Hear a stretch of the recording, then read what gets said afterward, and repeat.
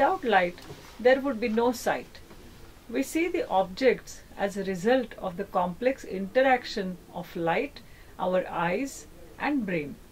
Once light reaches our eyes, signals are sent to our brain, and our brain analyzes the information. If you were to turn off the lights in the room for a moment in the night, then you would notice that nothing in the room would be visible. The room and everything in it would look black.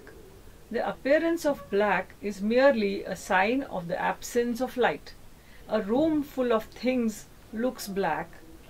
Then the objects are neither generating nor reflecting light to your eyes.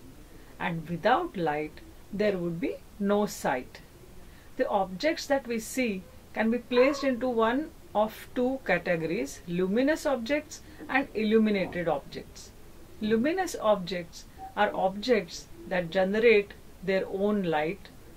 Illuminated objects are objects that are capable of reflecting light to our eyes. The sun is an example of a luminous object while the moon is an illuminated object. We see objects in the room because of bulb or similar light source like lighted candle. Luminous objects generate light to illuminate non-luminous objects which can be seen with our eyes. Let us perform a simple activity. We are going to take this laser light and point it at the mirror. As I am pointing it at an angle, it should reflect from the mirror on this cardboard. Presence of light cannot be detected as it travels through air up to the mirror and again to the cardboard. Only locations where it is visible are the ones where light strikes the mirror and the cardboard. At these locations, portion of the light is reflecting from the objects and traveling towards my eyes.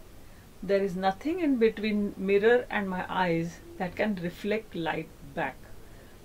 To visualize light path in this setup, let's sprinkle some chalk dust. The path of the light beam can now be seen.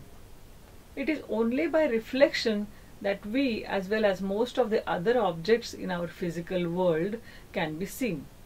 Let us study the way light reflects from objects and travels to our eyes in order to allow us to view them. Everything that can be seen is seen only when light from that object travels to our eyes. Whether it be a luminous object that generates light of its own or an illuminated object that reflects the light that is incident upon it, you can only view the object when light from that object travels to your eyes. Let's look at that plant. You can see the top of this plant because light reflects from the top and travels to your eyes. If you wish to see the vase or container, you will have to direct your eyes towards the vase or container. If you wish to view the image of the plant in the mirror, you must direct your sight along a line towards the location of plant's image. This directing of our sight in a specific direction is sometimes referred to as the line of sight. In order to view an object, you must sight along a line at that object and when you do, light will come from that object to your eyes along the line of sight. While simple, this concept of the line of sight is very important. This very principle of the line of sight will assist us in understanding the formation of images. Let's find out location of an image of the pencil using this activity. We will investigate the manner in which light from object travels to our eyes. Two pencils are taken and inserted into eraser which acts as a stand. Small mirror is placed on the table. One pencil will act as object pencil and the other one as the image pencil. Object pencil is placed in front of the mirror. Let's try to keep the image pencil on the other side of the mirror. Viewing the object pencil from the left side of the mirror. While doing so, image and image pencil should be aligned and appear as one. Repeat the same activity from right side of the mirror. Align the image pencil such that it is always aligned with image and object from any location in front of the mirror. This location of an image pencil is where the image of an object appears to be located. As you see the image of the pencil in the mirror, light travels along your line of sight towards your eye.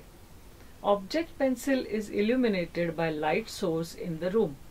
Rays from this pencil travels along a line towards the mirror.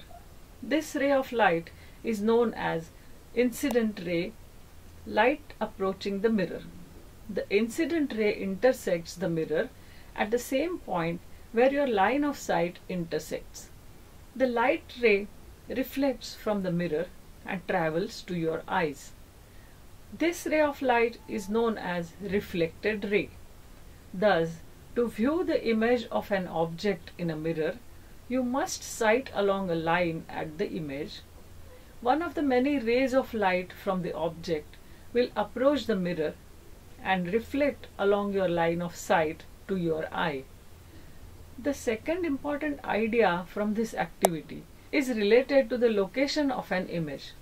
Observe in the diagram that the image is positioned directly across the mirror along a line that runs perpendicular to the mirror. The distance from mirror to object is known as object distance. The distance from mirror to image is known as image distance. For all plane mirrors, object distance is same as image distance. If a ray of light could be observed approaching and reflecting from a flat mirror, then the behavior of the light as it reflects would follow a predictable law known as the law of reflection. Draw a perpendicular at a point where incident ray and reflected ray meet. This is called normal line. This normal line divides the angle between incident ray and reflected ray into two equal angles. The angle between incident ray and normal is known as angle of incidence. The angle between reflected ray and the normal is known as angle of reflection. These two angles are labeled with the Greek letter theta accompanied by a subscript read as theta i for angle of incidence and theta r for angle of reflection. The law of reflection states that when a ray of light reflects from a surface, the angle of incidence is equal to the angle of reflection. We can see that the reflected ray and the incident ray are on the opposite sides of the normal and are in the same plane. We learned that light reflects from surfaces in a predictable manner as per the law of reflection. This predictability concerning the reflection of light is applicable to the reflection of light from horizontal surfaces, vertical surfaces, angled surfaces and even curved surfaces.